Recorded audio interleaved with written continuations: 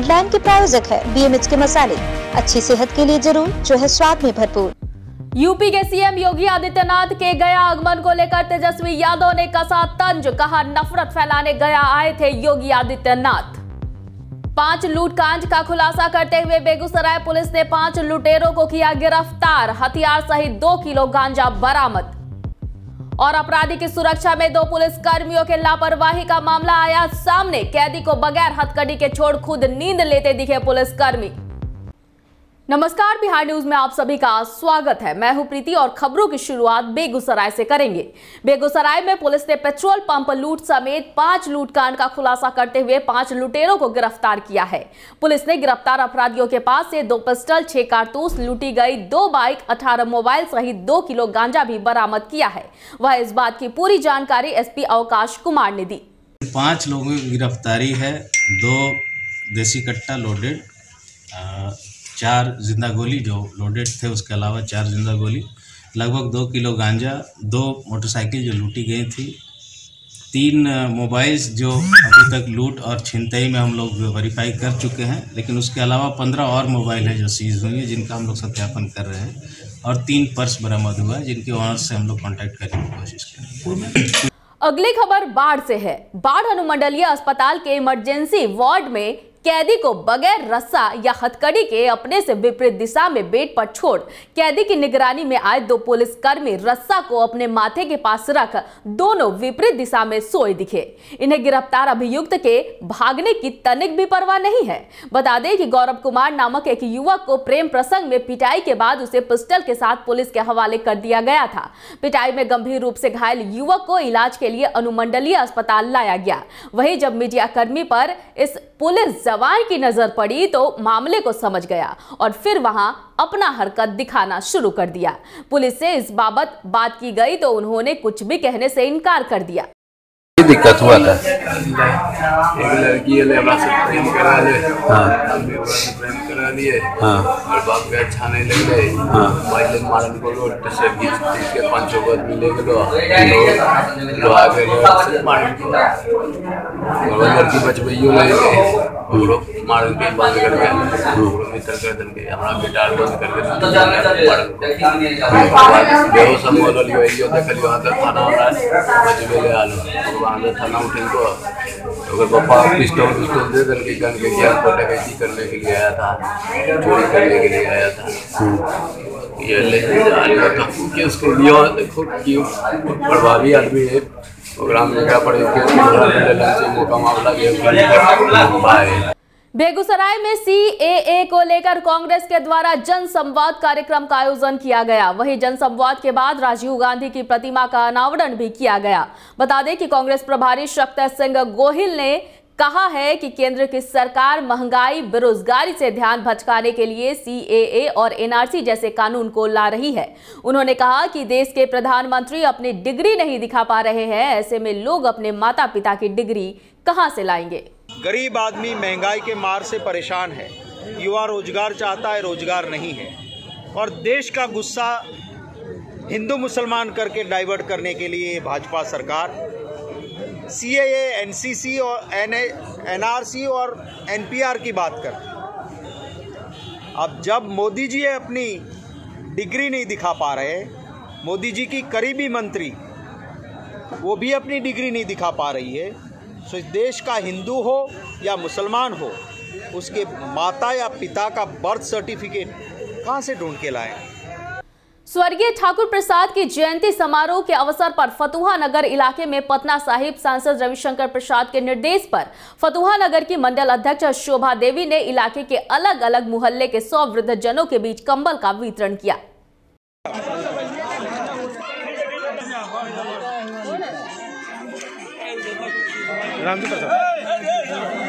खबर सीतामढ़ी से है। दहेज के भूखे भेड़ियों ने पहले तो दहेज की खातिर विवाहिता को प्रताड़ित किया। उसके साथ मारपीट कर बंधक बनाए रखा और फिर जब डिमांड पूरी ना हो सकी तो उस विवाहिता को उसके ससुराल वालों ने ज़िंदा जलाने की कोशिश की। सीतामढ़ी के बाजपट्टी की रहने वाली रूबी मिश्रा पूरी तरह से झुलस चुकी है। इसे देखने से ऐसा लगता है, मानो इसने अपनी ज़िंदगी से चंद साँसें उधार मिली है, जो सांसों की डोर कभी भी ज़िंदगी से रिश्ता तोड़कर सदा के लिए इसे मौत की आगोश में ले सकती है। बता दें कि पुलिस ने भी इस मामले में पहले जरा भी दिलचस्पी नहीं दिखाई। जब पीड़िता को इलाज के लिए पटना पीएमसीएच में भर्ती कराया गया, तब जाकर वहाँ पीड़िता के फर्द बयान कराया जा सका। बोला दादी से मिलाना है, दादी से मिलाना है। पाँच साल शादी के हुआ है। पाँच साल से लड़की को मेरे पास लड़की थी जो तीन चार बार गया, मार पिटाई इसके साथ किया है। दो तीन महीने का बच्चा पेट में था, तभी मार पिटाई किया इसको। पाँच साल से एक रुपये खर्चा नहीं, हर समय कहता था जब बाप से गाड़ी मांग के ला, गाड़ी मांग के ला, पचास हज़ार रुपया दिए हम गाड़ी खरीदने के लिए। फिर कहता, तू बड़े बाप का बेटी तू ज़मीन खरीदा तुम अपना बाप को बोल ज़मीन खरीद देगा। ज़मीन खरीदेगा मैं इसके बच्चे को भी रख रहा हूँ इसको बेटी को भी रख रहा हूँ। ये छब्बीस तारीख को जलाया है। मामला है एक सौ चौसठ के बयान कराने के लिए लाए हुए हैं। अच्छा। पहले से इनके पति द्वारा दहेज की मांग की जा रही थी। अच्छा। जिसके चलते इनको प्रताड़ित किया जा रहा था धमकी भी दिया जा रहा था कि दहेज नहीं मिलेगा तो तुम हमारे साथ बहुत जघन्य घटना करेंगे। जी। और उसका परिणाम है इसके साथ ऐसी घटना हुई तो अभी तक गिरफ्तारी हुई है कि नहीं? गिरफ्तारी इनके पति की हुई है। हुई है। क्या नाम है इसके पति का? गौतम कुमार मिश्रा। और लोग फरार हैं? और लोग फरार कितने गया के सर्किट हाउस में मीडिया से रूबरू होते हुए तेजस्वी यादव ने योगी आदित्यनाथ के सभा को लेकर कहा कि योगी आदित्यनाथ बिहार आकर महात्मा बुद्ध की धरती पर नफरत फैलाने का काम किया है, लेकिन बिहार की जनता उनके झांसे में नहीं आने वाली है। इसके साथ ही उन्होंने लालू प्रसाद के जेल में जनता दरबार लगाने वाले डिप्टी सीएम सुशील मोदी के बयान का कटाक्ष करते हुए कहा कि बेटा अपने पिता से नहीं मिल सकता है। सुशील मोदी चोर की तरह पीछे के दरवाजे से अनर्गल बातें कर डिप्टी सीएम बन गए हैं। महात्मा बुद्ध की धरती अमन चैन। पीस और प्रॉस्पेरिटी की बात। रहा है। जी। क्या होनी चाहिए? योगी आदित्यनाथ हैं या बीजेपी या आरएसएस के या कोई और अन्य नेता लगातार जो है समाज में नफरत बोने का काम कर रहे हैं। देश जो है आर्थिक मंदी से गुजर रहा है। बेरोजगारी जो दर जो है पैंतालीस साल बाद इतना ज़्यादा बढ़ चुका है।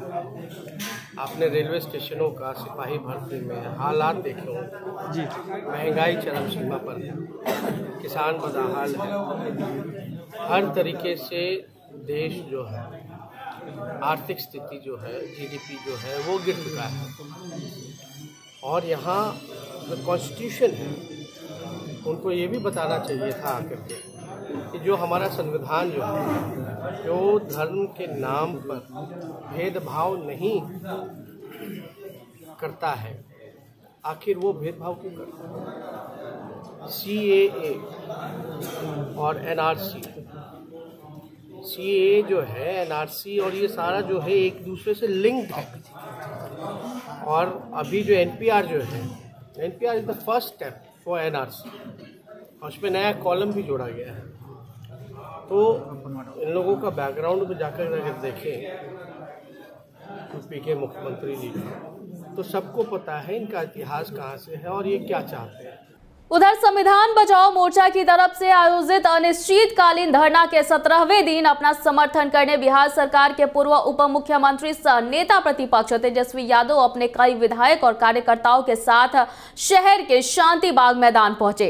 इस मौके पर धरना में शामिल लोगों को संबोधित करते हुए तेजस्वी यादव ने कहा कि गया में कोई बाबा आया था, बुद्ध की धरती पर नफरत फैलाने, लेकिन उसको गया का इतिहास पता नहीं है। वो कहते हैं हिंदुस्तान छोड़ दे हम। बताओ, भूत के घर से मकान छोड़ दे उनको बोलिए कि हमको पाकिस्तान क्या भेजेंगे।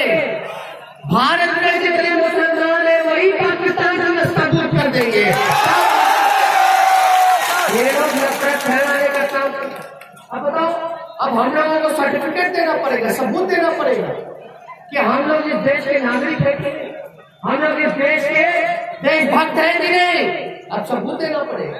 कहाँ हमारा देश जा क्या हम अमन चैन में रहेंगे? जहाँ ये महात्मा बुद्ध की धरती है। अब बुद्ध तो कहना था When there is peace, there is prosperity. यानी अमन चैन जहाँ है वही विकास संभव है। बिना अमन चैन के प्राथमिक स्वास्थ्य केंद्र मसौढ़ी के प्रभारी चिकित्सा पदाधिकारी डॉक्टर रामानुजम सिंह को पीएससी मसौढ़ी में मरीजों को बेहतर चिकित्सा मुहैया कराने के लिए बिहार न्यूज़ परिवार की ओर से शॉल और मोमेंटो देकर सम्मानित किया गया है। आज तो आजकल तो बहुत सारा न्यूज़ चैनल है, लेकिन बिहार न्यूज़ है, आज देख रहे हैं कि अभी बहुत अच्छा काम कर रहा है और अच्छा प्रोग्रेस में है। और जितना भी न्यूज़ चैनल है जिस तरह से ये कवरेज होना चाहिए गाँव गाँव तक जो कवरेज होता है, सही न्यूज़ सही टाइम पर तो लाता है, इसलिए हम तो आजकल आपका बिहार न्यूज़ रेगुलर देखते हैं। और हम आपके चैनल से बहुत खुश हैं। बात करें अररिया की तो स्थापना दिवस के अवसर पर अररिया के टाउन हॉल में भव्य सांस्कृतिक कार्यक्रम का आयोजन किया गया। कार्यक्रम का उद्घाटन सांसद प्रदीप कुमार सिंह जिला पदाधिकारी बैद्यनाथ यादव सहित जिला परिषद अध्यक्ष आफ्ताब अजीम ने दीप प्रज्वलित कर किया। टाउन हॉल में सांस्कृतिक कार्यक्रम में स्थानीय कलाकारों के साथ बच्चों ने भी एक से बढ़कर एक शानदार प्रस्तुति दी। उन्होंने प्रोजेक्ट दिए जिसकी वजह से अररिया काफ़ी आगे और आगे आने वाले दिनों में रोज़गार से जुटे हम अभी बरकरार हैं अररिया में मेडिकल कॉलेज होना है, उसके लिए धन्यवाद देते हैं। उन लोगों के जमाने में ही यह जिला बना था। और आज आप लोगों ने हम सबों को जवाबदेही दिया है जनप्रतिनिधि के रूप में। अररिया में एक बार नहीं, दो बार विधायक के रूप में में सारे संस्थानों पे हमारा कार्य शुरू हो गया है।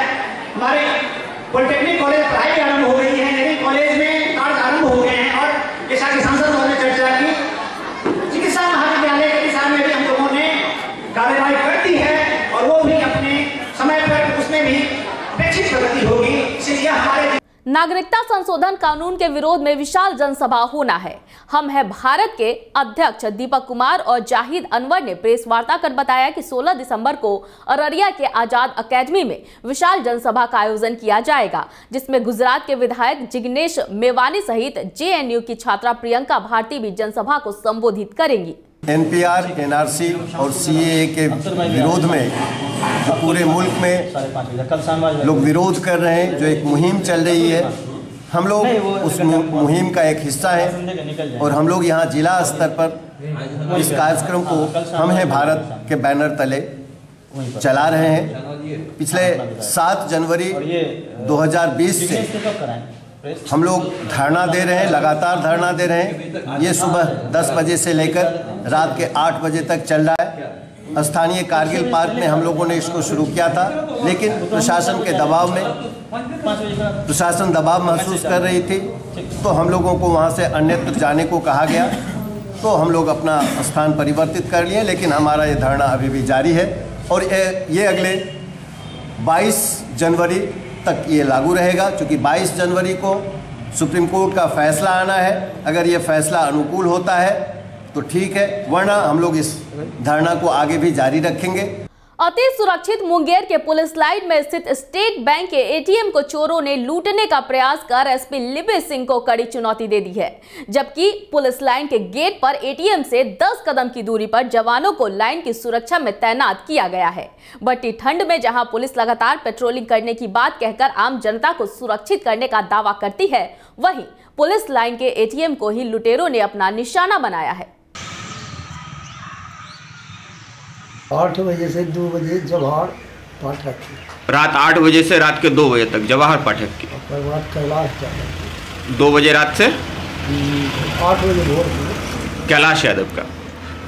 तो ये चोरी कितने बजे रात में हुई?